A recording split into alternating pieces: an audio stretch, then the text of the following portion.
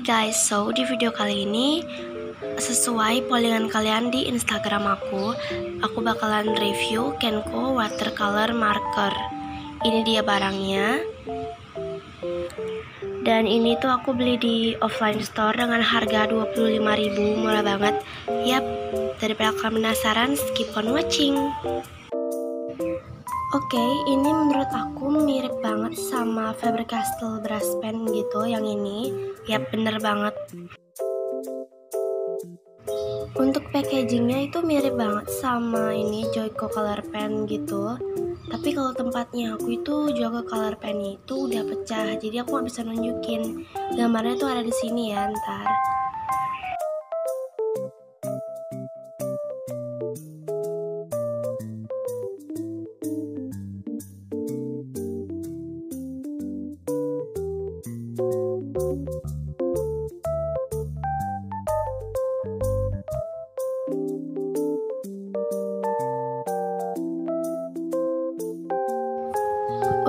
Pennya aku beli yang isi 12 warna.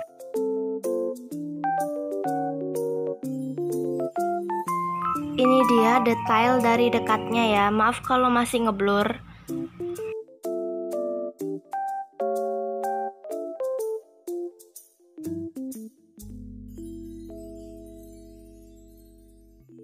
Ini aku coba ambil yang warna hijau muda.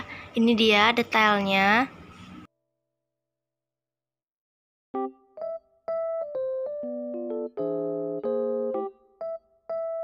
Untuk tutup dari brush pennya dia clear.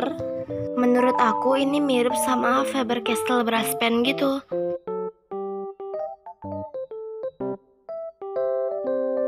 Oke okay guys, ini dia tipnya. Lumayan mirip sama Faber-Castell brush pen gak sih? Karena aku nggak punya, jadi aku nggak tahu deh.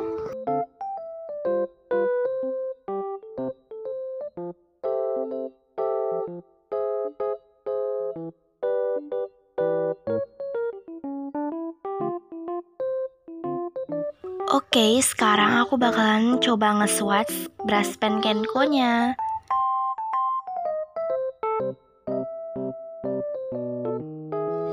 Untuk kertasnya aku pakai dari Joyko yang grid yang 100 GSM. Ini dia contohnya.